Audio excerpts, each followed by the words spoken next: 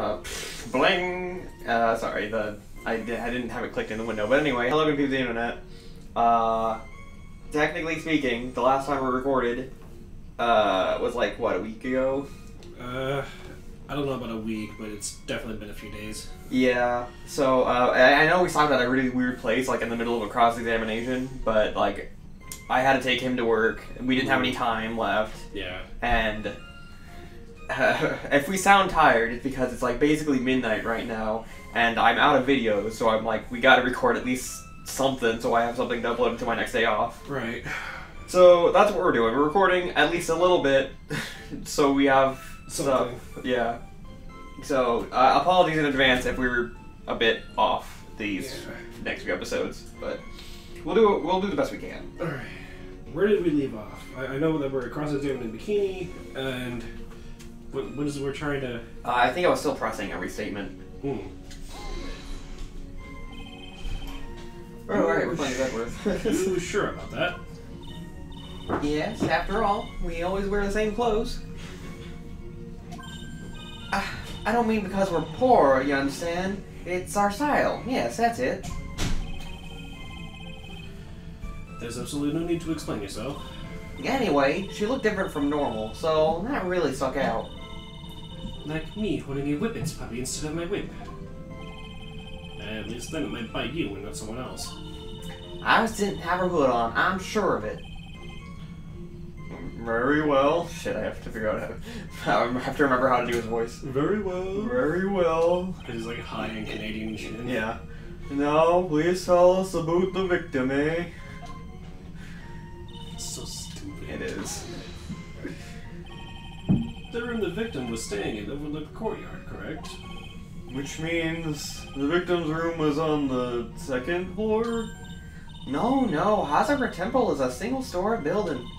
But the mountain itself slopes downwards. Which elevates our the main gated side of the temple and the guest rooms in the back. To about the height of a two story building. I see. And the victim was staying in one of these elevated rooms, correct? Yes, I should know. I'm the one who carried her things to her room, after all.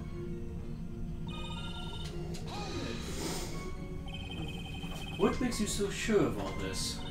It's just like I told you earlier. I heard a noise from the courtyard, okay? Thump, just like that. You're one smart sister, I'll give you that. The autopsy report states that the victim's body was covered in bruises, indicating a fall from around 10 feet in height. Wow, she is short. right. Hmm, it appears the witness was not mistaken then. Yep, yep. I'm more than just a pretty face, especially in winter. I'm a woman of faith, after all. The head honcho of Hazakura Temple. There's only two of them working there. What's wrong, Miles Edgeworth? No snappy remark? It doesn't feel like she is lying. There's very powerful testimony, too. She claims to have seen the instant in which the defendant stabbed the victim. There are only two things I can believe in right now my client, Iris, and my own abilities as a defense attorney. Okay, well now we gotta figure out what the thing is. Alright. Uh, this is what was changed. Normally when something is changed, that's what we have to present on. Right, so we know she didn't have her hood on. Yes. Matter of fact, we actually already presented her hood on. Right, and that's what got us changed to this. Yes. So is that still what we present on? Because I don't think it is. Uh, I, you know, I don't know. Well, let's see. Staying in the corner room which faces out of the apartment. Stabbing this occurred after she was pushed out of her window. Is there some way she might have fallen somehow? Uh, do we have a picture? Uh, Okay, well that's not the right one. Uh, let's see. So she's covered in bruises, indicating that she definitely fell or was pushed out of her room. yes. And. Can we go back to a, uh, a map of the uh, room layout? Yeah. Well, I mean, this is the best we got. I don't think we actually have a map of the building itself. okay, well.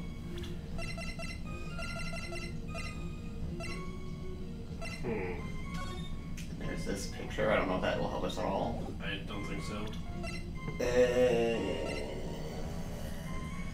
Is it in a room somewhere? Deputy after a death. And the last one is. it's a ground photo that shows this picture. Right, okay. Alright, uh. It doesn't help that it it's been a while since we, Yeah. eh, so it's not exactly fresh in our minds. I took a look and. It's a, Iris was oh, with that sword of all things.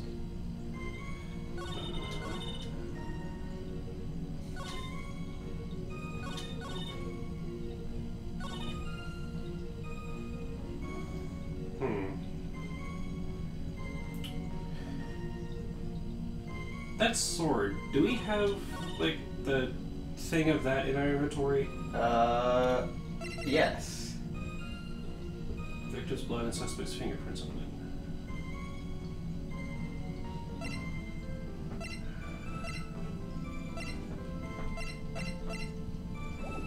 Uh, I mean, this doesn't really seem to have any contradictions. I mean, The sword of one thing. Well, I'm not 100% convinced that she actually went and stabbed her. I think that it's actually a photo of her trying to pull the sword out uh, I after mean, someone else had stabbed her. Especially considering. the statue's holding it, Yeah. which is pretty weird. Wait, the statue's holding it. How the fuck was she stabbed with it? I don't know. Dude. Wait a second. Go back, because she said that she saw. Um. Iris stabber. Yeah, but Yeah. it's clearly still like, in the hand of the statue. I mean, So that's when she's underneath it somehow. that didn't work.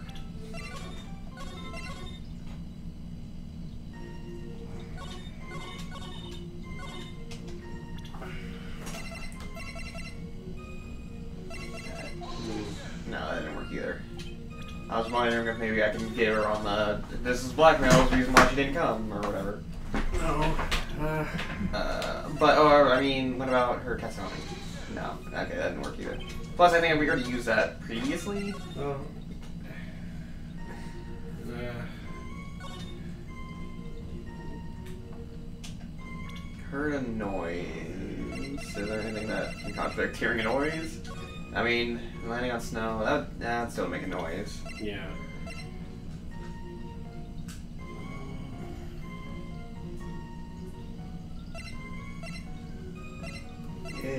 Wait, what's the weather data? Uh, snow with occasional lightning strikes. Uh, snow 7 to approximately 10.50 p.m. Lightning 10 to approximately 11 p.m. Uh, we're gonna try to get her on. Hey, how did you hear it over the lightning? No. The- Was there no thunder with it? I didn't say anything about thunder. Okay. Although it is weird that there wouldn't be thunder. Well, I want to see more about the weather real quick. Okay. 10:45 or 30 minutes pass between the fire starting and going out. Okay. Mhm. Uh. Yeah, I wish we had more time to record in our last session. Yeah, I, I'm trying to think. Was there?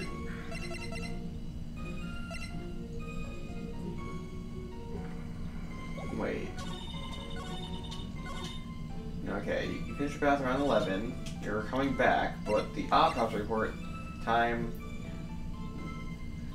If it was. said that by then she was already dead. Okay, well, that's not it apparently. I guess it's close enough. Uh, wait, is this the one that I pressed that on or presented that on? Just making sure. Yeah, okay. Are you trying to present? Uh, I was seeing if, if uh, the autopsy report, since it would have been after 11, but Hmm.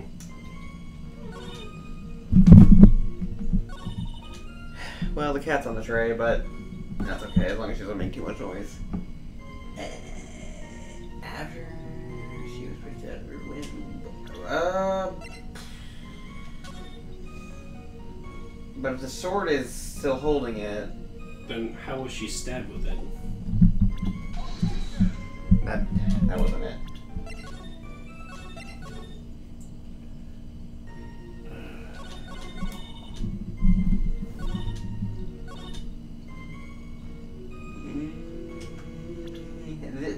We already know Iris didn't have her hood on. I know, but that's the thing that changed, though. Normally, when things well, change.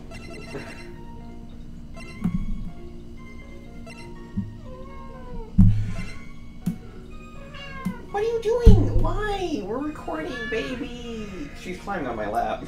oh, that's fine. Goodness gracious. Baby. Well, now she's just perched on the armrest.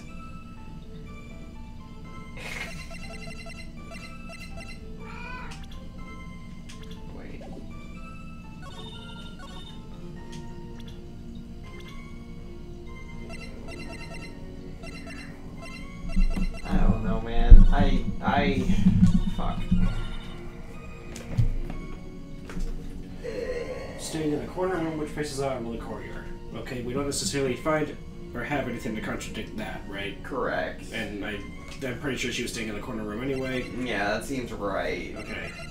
So, well, let's go through it one by one. Just, One by one, see if we can disprove anything. yeah. Uh, Alright, you find I'm the at bathroom 11. Thought I should return to the temple. Okay, seems fine. As I was walking back, I heard a noise from the courtyard. I took a look, and Iris, Miss and with that sword of all things. That I. Do we present the photo of the statue in this one already? The photo of the statue? Yeah, with the sword in the back. Uh, we might have. Yes, we did, and it didn't work. Okay. All right. Uh,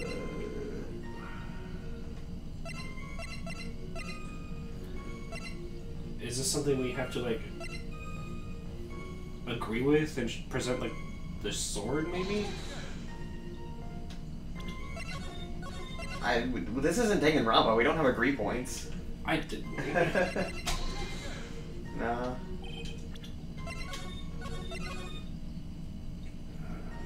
Okay. So I don't think we have anything that can necessarily contradict the sword thing right now, right? Probably not. Okay. Well then. And now that you mentioned it, didn't have a hood on, which is already- correct. yeah. Staying in the corner room. Okay. Don't really. Is this one of those things where we have to like press thing something twice after getting new information or something?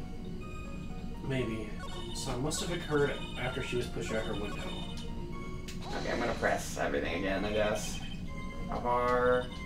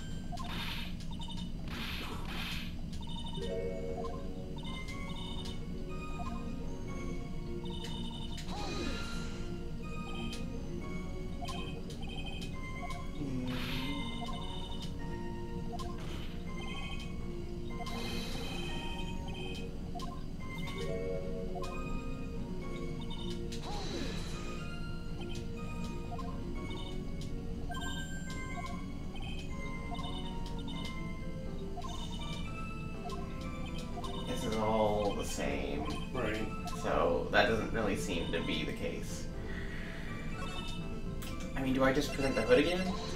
No, that that doesn't make any sense, but that. No, this is, I don't know. Alright, so. Did ever heard on okay, we can't really. Okay. she's- Staying in the corner which faces out onto the courtyard. That I Is probably don't true. think we have anything that can contradict that anyway. That must have occurred after she was pushed out of her window. How do, how do we know that she was pushed? We don't. Was that it, literally it? Because the autopsy doesn't say anything about a push. I I guess. Oh! It says that the victim, if nothing else, they definitely fell from about a height of 10 feet because they're covered in bruises. Because I, I did find it odd that she said pushed out the window, and I was like, how would you know that she was pushed? But that, I mean, Well- it did say bruises, so I was like, well, I mean, that. It doesn't make any sense for her to just have fallen out the window, right? I mean, yeah. But so clearly, so that, I mean, she must have been pushed, but so you could say like, oh, you know, uh, even though she doesn't know she was pushed, you could probably like piece it together, you know. right. So that's that's how the logic I was trying to go with. Well, right, because to me that's what Yeah, it's like the, that's where your train of thought would lead to. right. Yeah. That, that's the natural conclusion is that oh she fell out a window. Well, then she must have been pushed because no normally sane person, as far as I'm aware, just walks out of a window. ten feet up off the ground. Right. So. Anyway, we got it right, so whatever. Yeah. Anyway, impressive logic. That's what I'd like to say anyway. Oh, please do. My brain is something else, especially in winter.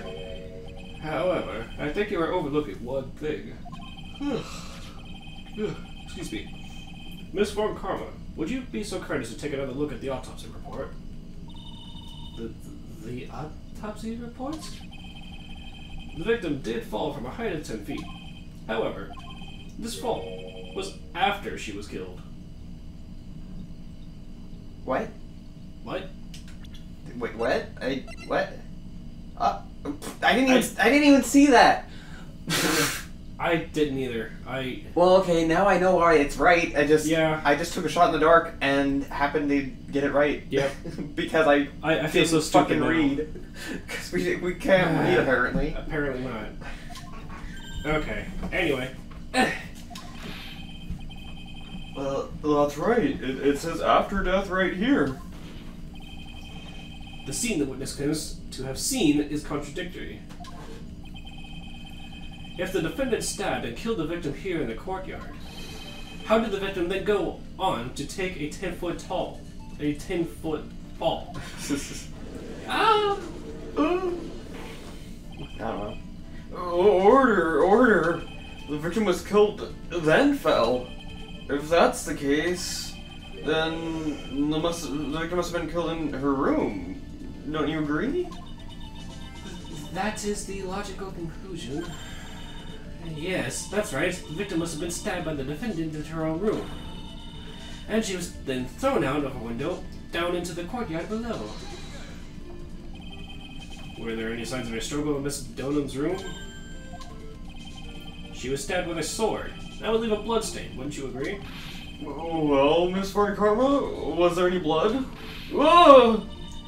No traces of blood were found in the victim's room. You, your whip has just caused traces of blood to be found on my glorious playoff beard. What? How am I supposed to go uh, to join the football team now? Uh, oh wait, I'm 65. I can't join it anyway. Wait, I don't play football. Judge, are you? Are you Uh, yeah, I'm. Uh, yeah.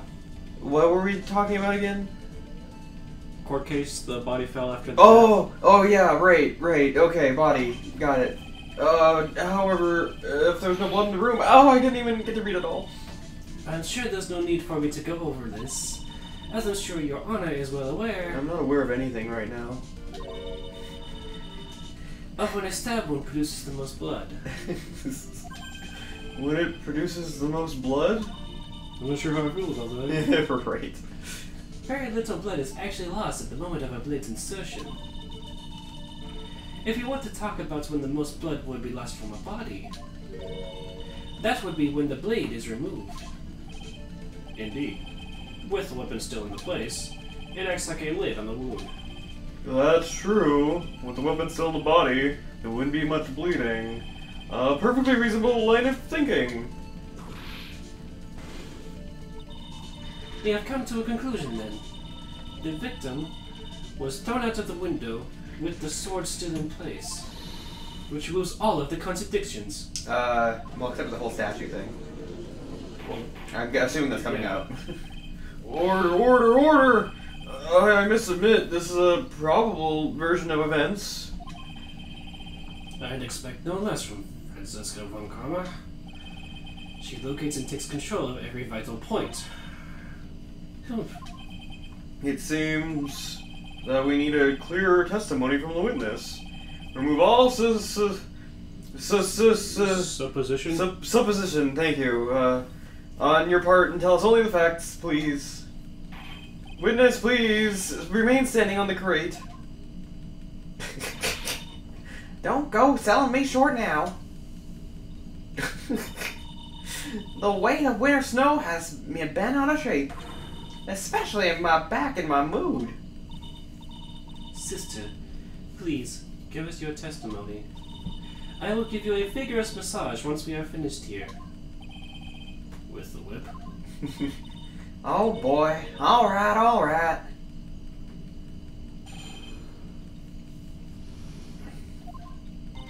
when I looked across the scene, the sword had already been in place. Thinking about it now, I didn't actually see her stab Mystic Elise. I've never seen so much blood before. That's when I fainted. You can't blame me, can you? And when I woke, Mystic Ami was... Uh, Mystic Ami was stabbing Elise through the back. Okay, well, there goes our contradiction, because she actually admitted it. Hmm. This all confirms Miss Von Karma's theory. Von Karma strive for nothing but perfection. Putting together such facts is nothing for me. You should know that, Miles Edgeworth. Perfection is an impossibility, Franziska Von Karma. And I'm here to teach you just that.